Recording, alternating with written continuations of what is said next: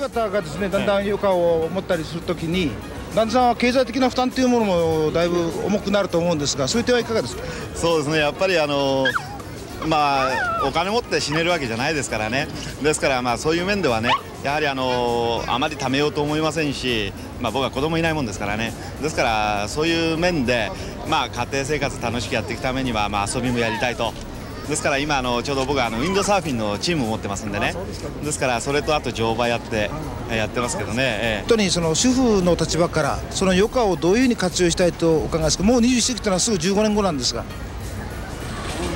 そうですね。できればあのまあ家事とかいあのそういうものから解放されてその時間をあそう創造的なもの例えば音楽とかあの絵を描くとかそういう芸術活動とかそういうものにあの向けられたらと思いますけれど。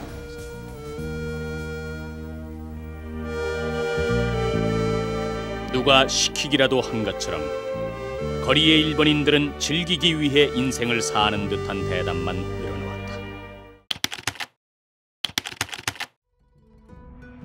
경제 대국 일본의 심장부인 도쿄에서는 요즘 먹여주고 재워주겠다고 해도 한사코 거지 생활을 하겠다는 사람이 갈수록 늘어가고 있다고 합니다. 도쿄에서 유기철 특파원입니다.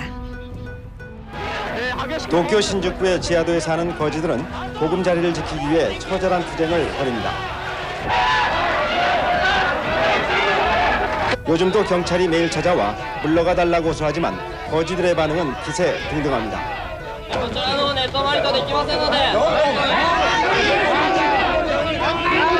도쿄 지방재판소가 지난 3월 거지들의 보금자리도 함부로 치울 수 없는 개인의 소유물이라는 판결을 내린 탓입니다. 고심 끝에 도쿄도는 자립지원센터를 짓기로 했지만 신주쿠 구청과 주민들의 거센 반발에 직면했습니다.